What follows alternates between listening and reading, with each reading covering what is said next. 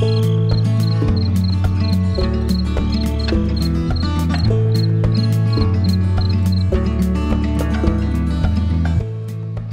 guys, I'm glad you're all here. Thank you very much for joining me. I found this image on Twitter today. It's from February 3rd of the International Space Station.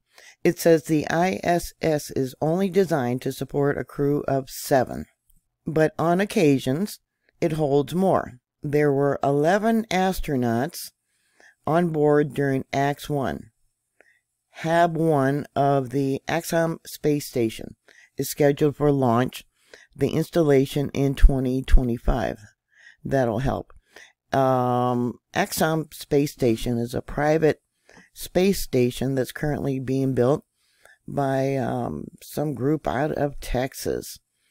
And it also says here um, that evidently Scott Kelly's Endurance, that's when a new crew member arrived at the ISS. He was sensitive to the extra CO2 buildup that the Seedra, S E E D R A, um, had a hard time keeping up with the extra crew and he would get headaches. Um, the S E E D R A must be the uh, equipment to take out the CO2. Here's another images of the Axiom space station uh, beginning to take steps at the uh, Thales Alenia in Italy. I'll click on that. Yeah, this is that private space station where people can pay $55 million each uh, to go into space. I guess quite a few people have done that already to go up in the ISS. Can you imagine $55 million for um, maybe a short trip? 10 days, I think, is the maximum time they spend up there. This here was from February 13th. NASA partners clears Axiom second private astronaut mission crew. And I believe two of them are Americans and two are from um, the United Arab Emirates. Uh, the UAE evidently never had a space program to train astronauts until last year. Now, there is a mission that's going to launch this month on the 26th, and I don't know if it's got anything to do with this Axiom um, space station, but it says the AX 2 crew will launch from NASA's Kennedy Space Center in Florida aboard the SpaceX Dragon spacecraft. Now, that's launching on the 26th. Once docked, the private astronauts plan to spend 10 days aboard the orbiting laboratory, implementing a full mission of science, outreach, and commercial activities. Uh, the mission targeted for launch in spring of 2023 will be the first private space mission to include both private astronauts and astronauts representing foreign governments, as well as the first private mission command commanded by a woman. Whitson will become the first female commander of a private space mission, adding to her prior accomplishments, including as NASA chief astronaut and the first female commander of the space station. In addition, she will add to her standing record for the longest cumulative time in space by a NASA, NASA astronaut. Private astronaut missions to the space station are a precursor to privately funded commercial space station as part of the NASA's effort to develop a thriving low orbit uh, ecosystem and a marketplace. Yeah, it's always about money. NASA is currently reviewing proposals for the third and fourth private astronaut missions. Let me bring this over for you to the space station. So here it says the Axiom uh, Space second mission to the International Space Station officially has a crew. Four astronauts will head to the ISS during a launch planned for this spring. The only one I know of is for the 26th of this month. And the newly sanctioned crew will feature a woman commander and two Saudi mission specials. Uh, these people that pay to go to the ISS, they call them specialists. They go through training just like an astronaut does, but they are paying for the opportunity, $55 million, to go there. Ali Argani, or Agani, and Rana Barna, two Saudi astronauts, will serve as mission specialists and will be joining the mission via an arrangement between Axiom and Saudi Arabia. The team is rounded out by pilot John Shoffner, who purchased a ticket to the space through the company in 2021. This evidently will be Whitson's fourth trip to the space station. That's amazing. Argani and Bernawa secured their spots when the Saudi Space Commission and Axiom Space reached a deal in September to fly the astronauts to space via the country's first astronaut program. Axiom Space previously sent an all-private crew to the ISS last spring, but complications from a jam-packed schedule and a lack of experience from the all-private crew meant that experiments on board took longer than expected. Shortly thereafter, NASA announced that it would be updating the requirements for astronauts accompanying private space missions, including a stipulation that private missions now uh, be led by former NASA astronauts. This article dated November of last year. It says it was only six weeks ago that the Saudi Arabia announced that it had started an astronaut program and planned to send two people to space. Yeah, they don't have a long um, training program, do they?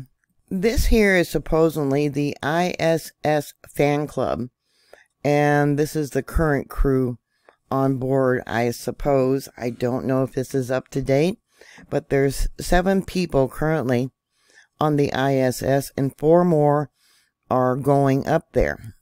So that would make 11 people. And yeah, the space station is not designed to hold that many people. Now, last year, um, Dmitry Rogozin was dismissed as the director of Roscosmos. He evidently, um, ever since the uh, Iranian war with Russia, he was just going ballistic, and some say he was becoming unstable. So he was removed from the position. And former Deputy Prime Minister Yuri Borisov was put in charge. I think things are going better now between Russia and the United States with the uh, International Space Station.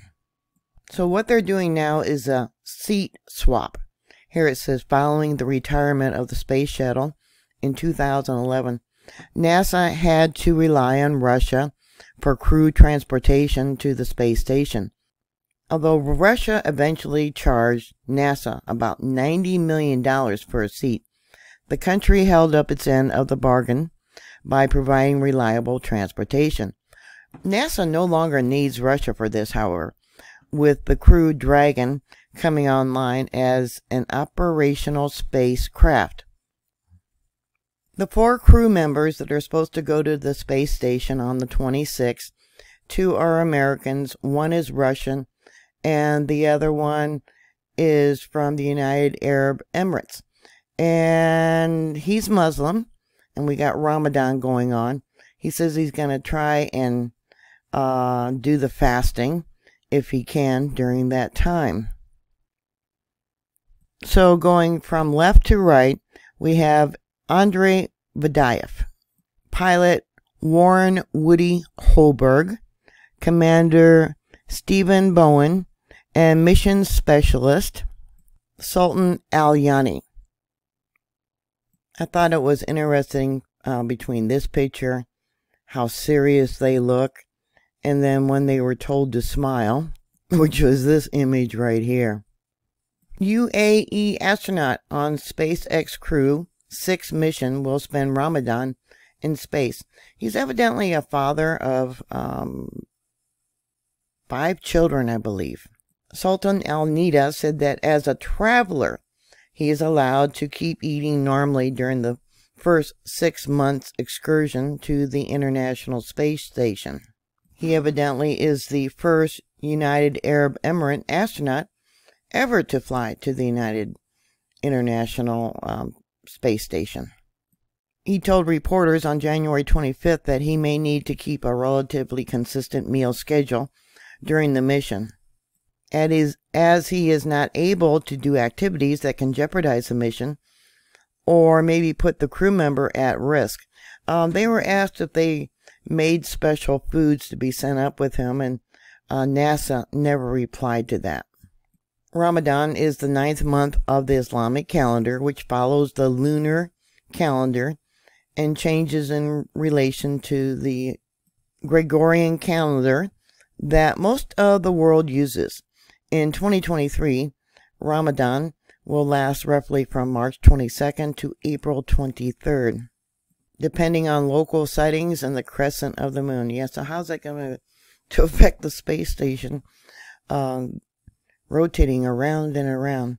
During the, during the lunar month, most adult Muslims are required to fast from dawn to sunset. Observing Ramadan is one of the five pillars of Islam. Fasting during space station missions have happened before during Ramadan.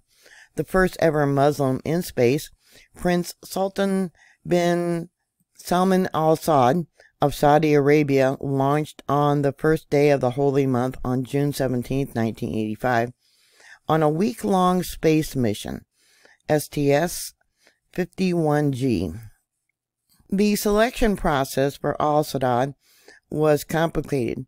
Back then, NASA had a shuttle position called Payload Specialist. This is what I was talking about um, that allowed countries or companies to fly non career astronauts for limited duties, to supervise experiments or other tech, for example. A multinational coalition was launched. Uh, the satellite um, Arabsat 1B aboard the shuttle mission, and Saudi Arabia was voted as the nation to launch a representative.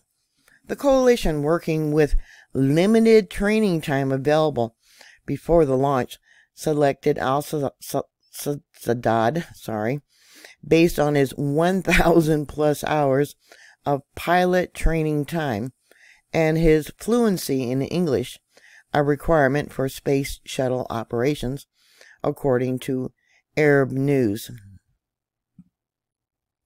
At the time of his selection, he was working as an official with the Saudi Ministry of Information.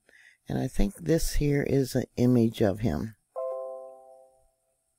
Before the launch day dawned, he ate the traditional um, shupur, sorry for pronouncing that wrong, pre-sunrise meal. He then prayed on the launch tower just before board, boarding the space shuttle, according to the UAE newspaper. You know, it's just amazing the things that they don't make public. Once safely in space with limited spare time available, he read the Quran and fasted.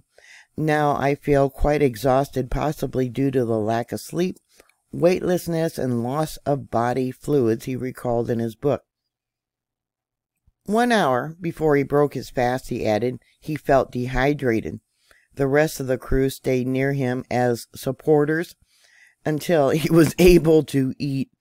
I mean, this is this is our space program, and I'm sorry, but it sounds like uh, they're not taking it as serious as they should.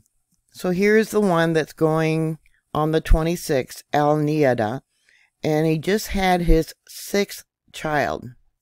He's 41 years old and joked that having enough children to match the mission number is not a requirement.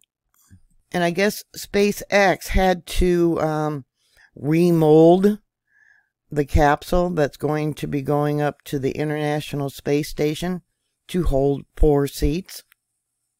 Stephen Bohr is going there. This will be his third flight there. He is a uh, U.S. Navy submariner. He was the first submarine officer selected by NASA. He was selected as an astronaut candidate in July of 2000. And he spent two years of training and um, evaluation. Yeah, compared to what they got to go through with Saudi Arabia, yeah, I'd say he's got more training under his belt. Woody Hoburg uh, was selected as an astronaut candidate in NASA's Astronaut Group 22 and began the two year training um, in 2017. In December of 2020, he was announced as one of the 18 NASA astronauts selected as part of the Artemis program for the lunar mission in 2024. He is selected to be the pilot of SpaceX Crew 6 um, this year. Andrei Fedyaev, now he's the Russian cosmonaut. Fedyaev received an engineering degree in air transport and air traffic control from the Balashov Military Aviation School in 2004. Following graduation, Fedyaev joined the Russian Air Force in the 317th Mixed Aviation Segment. He obtained the rank of major before his retirement in 2013. He logged over 500 hours in Russian aircraft. Fedyaev was selected as a cosmonaut in 2012. In July 15th, 2022, he was assigned to the SpaceX Crew 6 mission. After a recent crew swap agreement between NASA and Roscosmos. He will be one of the mission specialists, along with the um, Emirati astronaut. That's the one from the UAE. Now, the Russian cosmonaut, he's going to turn 42 on February 26th. And I thought they all had to know English, but evidently he was speaking through a Russian interpreter. I don't know what my family and friends are planning, but I would really want to fly on my birthday to launch on my birthday. It would be the best gift for me. Now, here it says he doesn't have 500 hours as a military pilot, but 600 hours as a military pilot. He joined Roscosmos as a candidate cosmonaut in 2012 and was fully certified for flight in 2014. In 2004, he received a, a degree in air transport and air traffic control. And this here is the patch for the mission. Yeah, six. It looks like a, a Viking dragon ship, don't it? Anyways, what are your thoughts? I thought that was all interesting. Yeah, um, put your thoughts down below. Thank you very much for watching. Thank you for subscribing. Please thumbs up my videos. Um, please stay safe, and I'll talk to you later. God bless y'all. Bye.